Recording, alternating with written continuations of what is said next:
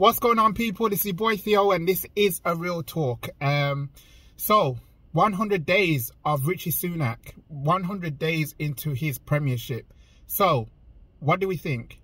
How did we get here? Well, we all know how we got here. Um, he wasn't even elected to begin with. He won a leadership.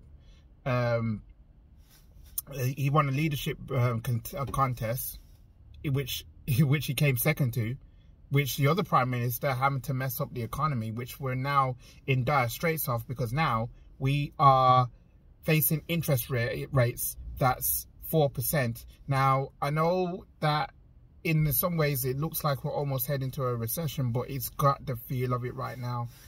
And I don't know how things are going to get even better. He's set out when he took office 100 days ago, he set out, he wanted to do, um, he wanted to earn our trust. He wanted to talk about transparency. He wanted to do everything that he can do that would be better than his predecessors. I'm talking Theresa May, I'm talking Liz Truss, even Boris Johnson. They were even talking about, it's even talking about that.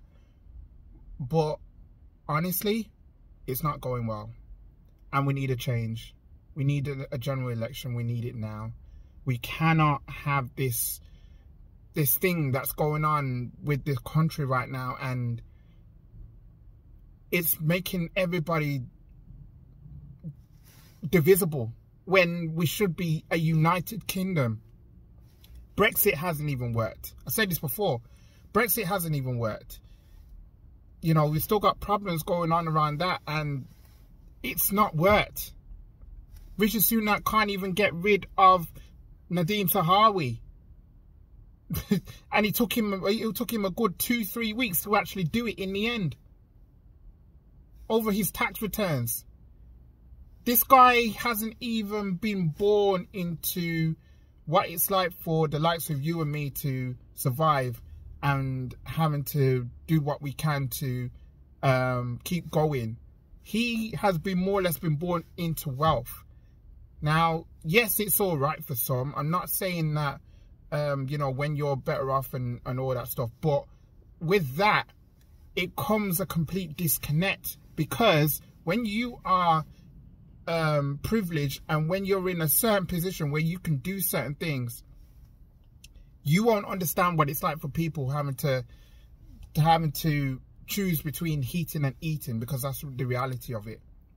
You won't understand of people having to ring GPs at 8 a.m. in the mornings to try and get an appointment. You won't understand that. Why? Because you go private. You don't understand that. And still he thinks that he can he can help. I'm not so sure if he can. I'm not. I'm not even like sold on on on what he's been doing the last 100 days. So, he's going to do this big interview with Piers Morgan on Piers Morgan Uncensored. I will be watching that to see exactly how he's fared. But it's a hundred days. And still, yet still, this country is no better off. I don't understand why the likes of Richard Sunak has been... I don't know why they. I don't know why they're in politics in the first place because it's not to help people. It's not to really kind of understand, um, you know, what the mood of the nation's like. Because I don't think he understands. I mean, just the other, other day I saw him in a video talking to a homeless person.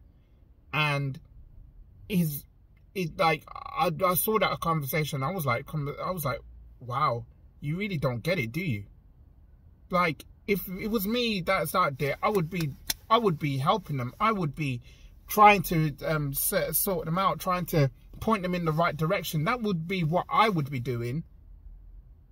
You talk about they like going to the um the, the hospitals and speaking to patients, and the patient tells you dead in the face that these people need to be paid, and you're there going, "Ah, oh, we're trying, we're trying, we're trying," and then you go on to the um um the the the publications, new pub news publications, and do the rounds and always say that, oh, it's the independent um, um, pay body that needs to do this. No, you are the prime minister. If you really, really wanted to help, if you really think that you can actually make a difference to this country, right? You need to get real. You need to speak to the people that happen to having to go through things and find a way to actually help them instead of having to think, oh, okay, yeah, they can do this and but they have to go through all this stuff and, and like, no. If you really want to help, help. Don't just do it because it's tokenism. Don't just do it because you think it's all about looking good and wanting to better yourself in the process. If people really can see who you are as a person, right? Then people will actually respect you more. But instead, we got this. We got this. We we got these people that's come into power, and they got no idea how to wield that power. No idea how to help everybody. It's all about themselves, making themselves number one, and we're the ones who are paying the price for it.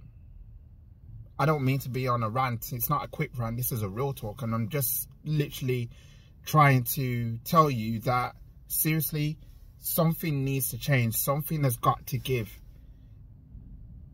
But we're not going to get there, are we? The only way we're going to do that is a general election, which is in about 18 months' time. But yeah, if you like what I got to say, like, subscribe if you're new. Let me know what you think.